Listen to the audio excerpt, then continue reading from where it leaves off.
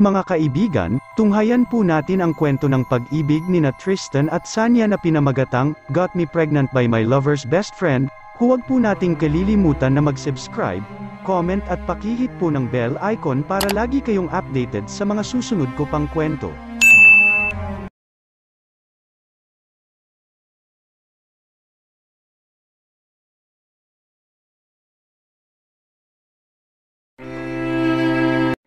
Pards, pakihatid naman si Scarlett, sure, pero ang lagay ganon na lang. Pambihira, umaktong dudukot ng wallet si Tristan, sige, bibigyan kita ng pamasahe. Manowa nawa si Cedric, huwag na, biro lang yun, ba't hindi mo may hahatid si Scarlett? Mi practice ang team, di magkita na lang tayo sa boarding house, yeah, pakisabi na tuloy kay Scarlett na tatawagan ko na lang siya pagkatapos ng practice. Sa boarding house nila sa Pasig ay magkasama ang dalawang binata sa isang kwarto. Okay, yun lang, yun lang thanks, naghiwalay ang magkaibigan paglabas nila sa last subject, mag-aalas 4 na ng hapon noon. Si Tristan ay didiretso sa gym dahil may practice nga ang Black Eagle, o ang mga miyembro ng collegiate basketball team ng Santo Tomas University. Si Cedric ay maghahatid ng girlfriend ni Tristan, magkababata, magkaibigang matalik, at magkaeskwela ang dalawang binata sa Santo Tomas University.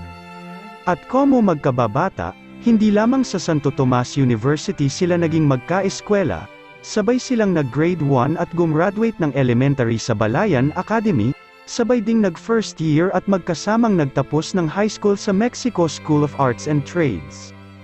Parehong taga Mexico, Pampanga at magkapitbahay sina Tristan at Cedric. Nagmula sila kapwa sa average income family, ang tatay ni Tristan ay isang clerk sa post office sa munisipyo, ang nanay naman nito ay may sari-sari store sa palengke, ang ama naman ni Cedric ay may sariling bukid na sinasaka, at ang ina nito ay government employee. Dahil na rin siguro sa ang mga magulang nila ay magkakaibigan, kaya mga bata pa lamang ay naging matalik ng magkaibigan ang dalawang lalaki. Bilang magka-eskwela ay sanay sila na nagsasalo sa baon, bilang magkapitbahay ay sanay sila na nagbibigayan ng ulam, hindi sila naglalamangan. Katunayan ay sanay din sila na napapalaban ng away kapag naagrabiyado ang isa. Talagang nagtutulungan sila, hindi lamang sa paggawa ng mga assignments at projects sa eskwelahan, kundi gayon din naman sa mga trabaho sa bahay at sa bukid. Madalas na kapag tapos na ang aralin, Lumilipat si Tristan sa kabilang bahay at tinutulungan si Cedric pag natano na nagpapakintab ng salas ang kaibigan. Si Cedric naman, kahit sa lahat ng trabaho ay hindi nito type ang mag-igib, nauubliga ito kapag nakikitang kandekuba na si Tristan sa bitbit na dalawang balding tubig. Iniigib kasi sa poso ang tubig nila at inyaakyat at pinupuno ang tigalawang drum sa batalan. Noon yun, noong nasa high school pa sila, nang mag-college na ang dalawa ay napagkaisahan nila na sa Santo Tomas University mag-enroll, kahit naman naging Manileño, sina Tristan at Cedric ay dala pa rin nila ang loyalty sa isa't isa. Sila pa rin ang magkabarkada, gayunman ay sa basketball na hilig si Tristan at si Cedric naman ay sa bodybuilding. Pero sa dalawa ay unang nagka-girlfriend si Tristan, ang tipo kasi nito ay yung uri na habulin ng mga babae, guwapo, matangkad, magandang magdala ng damit at scholar sa paaralang pinapasukan. Sikat na star player pa ng varsity team, kapag naglalakad nga itong patungo sa gym at bitbit ang bola sa lalagyang net na nakauniforme pa lamang ng Black Eagle jacket at jogging pants, ha? Kitang-kitang kinikilig dito ang mga kababaihan sa campus, fourth year na sila ni Cedric nang maging girlfriend ni Tristan ang campus queen na si Scarlett. Gwapo rin naman si Cedric at ma-PR, pero hindi nga lamang kasing gwapo ni Tristan, at komo nagbabodybuilding nga sa laki ng kaha ay talo naman si Tristan kay Cedric. Ang susi marahil ng pagkakasundo ng dalawang binata ay mutual trust, malaki ang tiwala nila sa isa't isa. Palagay na palagay ang loob nila na pag sila ang magkasama ay hindi sila mapapahamak. Walang sino mang pwedeng umapi sa kanila, ganoon katatag ang mutual trust nila. Kagaya na lamang ngayon, panatag na panatag sa pagpapraktis sa gym si Tristan, dahil alam niyang safe na safe at nasa mabubuting kamay ang nobya niya. Kay Cedric ay balewala na susunduan pa niya si Scarlett sa University of the Philippines, At pagkatapos ay ihahatid sa bahay ng dalaga sa Antipolo. Hindi pala balewala kundi magaan ang loob niya, sa pagtupad sa tungkuling pansamantala ay hindi muna magagampanan ng kaibigan niya. Nasaan si Tristan, na itanong ni Scarlett nang sa halip ang nobyo ay si Cedric ang lumapit dito. May practice, ako na raw ang maghatid sayo, dinatna ni Cedric na naghihintay na si Scarlett malapit sa gate ng eskwelahang pinapasukan nito. Tara na, sabi pa ng lalaki, tatawagan ka na lang daw niya pagkatapos ng practice, mamayang gabi na yon. Walang kibong sumabay na ang dalaga kay Cedric, sa makalabas ng gate, pumara ng taxi ang binata, sakay na ng taxi ang dalawa nang muling magsalita si Scarlett. Bilib talaga ako sa samahan niyong magkaibigan, sabi nito na nakangiti naman at hindi himig sarkastiko. Baka ang ibig mong sabihi bilib ka talaga sa samahan nating magkakaibigan, pabirong sagot ni Cedric sa sinabi ng nangingiting si Scarlett. Pabiro ang tono, pero kung pakususuriin ay totoo at seryoso ang kahulugan ng sinabi ni Cedric, no, I mean, yes paano nga ba yon? Napakaswerte ko naman sa inyo ni Tristan. Hey, make up your mind, natawa ng bahagya si Cedric, ano ba talaga ang nasa isip mo, bakit maswerte ka kamo, pero parang may iba ka pang ibig sabihin. Abay tingnan mo naman, nakataksi tayo na para bang tayo talaga ang magnobyo, ihahatid mo ko at pinutol ng babae ang sinasabi at bumuntong hininga, I see, umangat ang isang kilay ng nakaunawang lalaki, nobya ka nga ni Tristan at kaibigan niyo ako. Hindi kanya pwedeng ihatid kaya eto ako, now tell me, sa pakiramdam mo ba ay may mali sa ganito? Ewan ko nga ba, madalas namang nangyayari ang ganito, at may tiwala naman ako sa iyo. Totoo ba yun? Oo naman. No, sinulyapan siya ng patagilid ni Scarlett, sandal pa nga sa pader ang pakiramdam ko. Aw, talaga ha, oo, at alam mo kung bakit bakit. Ang nasa isip ko kasi walang sinumang siga-siga riyan na mangangahas sumulyap man lamang sa legs ko, dahil ang laki-laki ng katawan ng bodyguard ko, napahalakhak ng malutong si Cedric at iyon ay pinasundan ng, at saka gwapo, o di ba, yun pa nga, kaya sabi ko'y maswerte ako, pareho naman kayong gwapo ni Tristan at pareho ring desente, palagay ko pa nga'y maraming naiinggit sa akin pagkasabay ko ang kahit na sino sa inyo ni Tristan, kaya lang. Kaya lang ay ano, ano ba talagang problema mo, pabirong usisa ng binata. Kung minsay naiisip ko kasi na baka isang araw, pati pagdi-date namin ay ipaproxy na sayo ni Tristan, dismayadong tugon ng dalaga, muling napatawa si Cedric. Ano naman ang masama roon, pagbibiro uli nito, no kidding, sabi ni Scarlett, at eto pa ha, serious ito, ako, palagay ko, hinding hindi ko siguro mapapayagan si Tristan na maghatid ng ibang babae, ganun ka? Kibit balikat ang isinagot ni Scarlett, di kung ganon, ang problema mo pala ay lack of trust, kulang ang tiwala mo kay Tristan, nasambit ni Cedric, parang hindi naman ganon, tanggi ng dalaga. Di ba't sabi ko nga ay may tiwala naman ako sa inyo ni Tristan, ang naiisip ko, hindi kaya sobrang mahal ko siya kaya naging selfish na ako, kaya naging selosa na ako? Umiling si Cedric, hindi ganun yun, ako, payag na ako kung hindi man maging buo ang tiwala mo sa akin, dahil hindi naman ako ang boyfriend mo, pero si Tristan, nobyo mo siya, dapat complete trust ang ibigay mo sa kanya. Hindi kumibo si Scarlett, nag-isip lang, saglit na natahimik sila. Teka, maya-maya'y sabi ni Cedric case to case nga siguro yang pinuproblema mo. Meaning, anang dalaga, I mean, halimbaway ako, nagka-girlfriend din ako, pagsiselosan mo rin ba siya pag may nangyaring ganito, na hindi ko siya pwedeng masamahan kaya pinasamahan ko na lang kay Tristan. Gagawin mo rin yung ganito, well, best of friends kami ni Tristan, daig pa namin ang magkapatid.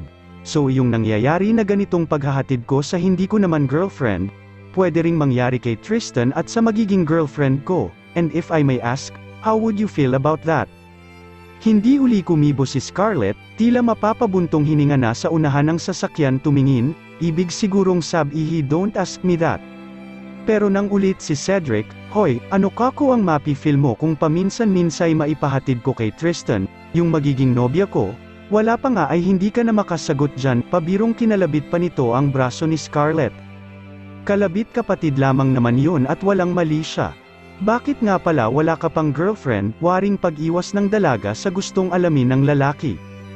Oh, bakit bigla tayong napalayo sa topic, kasi nga'y buo naman ang tiwala ko sa iyo, buo ang tiwala ko kay Tristan, at buo rin ang tiwala ko sa sarili ko, parang may kaunting bahid ng pagkapikan sa boses ni Scarlett, kaya lang, syempre na may may kanikanya tayong gusto at hindi gusto, di ba, right? Tugon ni Cedric na bahagya namang may langkap na pagbibiro ang tinig, Mandy ayaw patulan ang kung anumang iyon na ikinapiko ng babae. So, let's drop the subject, okay. Okay, medyo itinaas pa ng binata ang dalawang kamay. But kako wala ka pang girlfriend, wala pa akong masalubong na beauting o lags. Masayang napatawa si Scarlett sa birong iyon ni Cedric, tila madali lamang na nalimutan ang ikinapikon nito. Aanhin mo naman yung beauting o lags anang dalaga na menowa-nawa pa rin, ang hanapin mo yung beauty and brains na kagaya ko, na pangiwi si Cedric, hindi ka rin naman conceited, ano? Hindi naman masyado, pero yun nga lang angga-angga, wala akong makita, beauty and brains pa, pahumble man din ni Cedric, di mas lalo lang naging miserable ang abang buhay ko sa kahahanap ng girlfriend, nagpapatawa na talaga ang binata. Masayang nagtatawanan na sina Cedric at Scarlett nang bumaba sa taxi sa harap bahay ng babae. Graduate na sa kolehiyo at kapwa may trabaho na sina Tristan at Cedric nang magkanobya ang huli, kahit naman magkaiba ang trabaho, magkasama pa rin sila sa flat at, as usual, hati sa renta, como electrical engineering ang tinapos na kurso, sa isang company na pasok ng trabaho si Tristan, sa sikat at maprestihiyong Asian Gulf Company. At dahil business management naman ang manager ni Cedric sa kolehiyo, ang magandang alok ng Mitsubishi Cars ang pinili nitong tanggapin, sa ibabaw ng iba pang alok. Si Scarlett ay naging international model at kasalukuyang sumisirit na pataas ang career nito, nasa Middle East ito ngayon, pagkatapos ay tutuloy ng Europe, pagkatapos ay dederecho sa Australia, kung kailan ang balik sa Maynila, itatawag na lamang daw kay Tristan.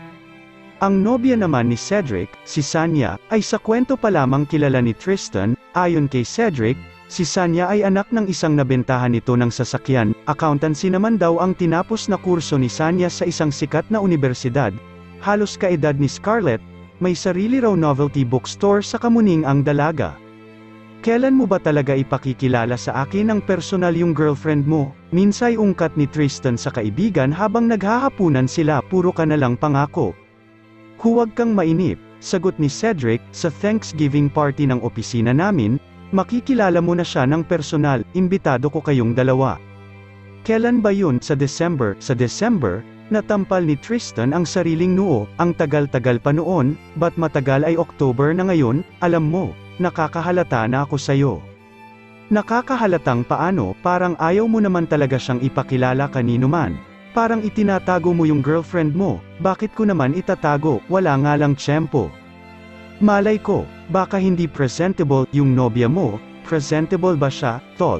Sa pangalan pa lang nung girlfriend ko, hindi ba presentable ang dating sayo, ang ganda ng dating sa akin? Pero bakit nga kahit litrato ay hindi mo maipakita sa akin, hindi pa ba kita napakitaan ng litrato niya? Teka, dinukot ni Cedric ang wallet nito, kinuha roon ang larawan ng kasintahan at iniabot kay Tristan. Maganda naman pala siya, ani Tristan matapos pagmasdan ang litrato ng babae, kaya lang, malayo ang kuha, nasa pinto siguro ng tindahan ang kumuha nito. Habang nakaupo naman sa kaha ang nobya mo, masalubong ko man siguro siya hindi ko makikilala, pero maganda siya. Ikaw lang, nagduda ka agad, paano naman, kung gusto mo talaga kaming pagkilalanin, napakadali, mag-dinner lang kayo at kumbidahin ako'y may introduce mo na kami sa isa't sa, di ba? Tol, sorry ha, bumuntong hininga si Cedric, hindi ko pa nga pala nababanggit sa iyo kung gaano kahigpit ang mga parents ni Sanya, hindi pa kami nakakapag-date na ganon, hanggang sa pad-alaw-dalaw pa lang ako sa tindahan niya at sa bahay nila, Bago pa lang naman kasi kami, sa Thanksgiving party nga ng opisina ang unang-unang pagkakataon na ipagpapaalam ko siya sa mga magulang niya. Ganun ba? Di sige, sa Thanksgiving party mo na lang kami ipakilala sa isa't isa, isinauli na ni Tristan kay Cedric ang litrato ni Sanya.